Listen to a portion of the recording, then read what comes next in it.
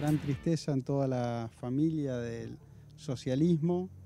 y en todos los partidos, en todos los militantes de la democracia en la provincia de Entre Ríos, de quien fuera presidente de nuestro partido socialista, fue fundador del Partido Socialista Popular junto a Guillermo Esteves Boero y acá en la provincia Marcelo y Jorge Gallino también. Así que me tocó a mí en mi etapa de juventud, cuando me incorporé al partido, este, recibir, digamos, de él, que era presidente del Partido Socialista en la ciudad de Paraná, eh, toda su, impronta, su, militancia, a que acompañé a toda la provincia y junto también con otros dirigentes, eh, lo que significó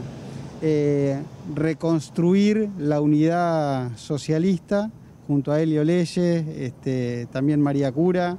eh, Manuel Fortuny, y que bueno, lograron construir el Partido Socialista que, tenemos hoy eh, por el principio de la democracia y justamente después en su función pública como diputado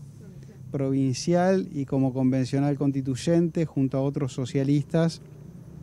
llevar la impronta de nuestro pensamiento, de la extensión de derechos, de la democracia en el sentido más amplio y de todos los institutos que han quedado consagrados en la constitución provincial y que tanta falta hacen que se, se implementen. En tiempos de, tanta grieta,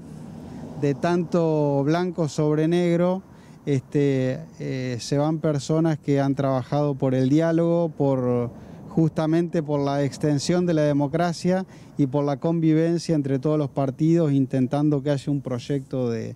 un proyecto de provincia, un proyecto de país alternativo. ¿no? Bueno, usted recién nombraba muchos dirigentes que ya se han ido.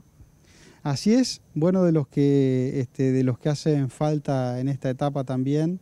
eh, gente que, que, tenía como norte la ética, que no, ha, este, no se ha enriquecido con, la política eh, y que tanta falta le hacen a, a la política de hoy en día, ¿no?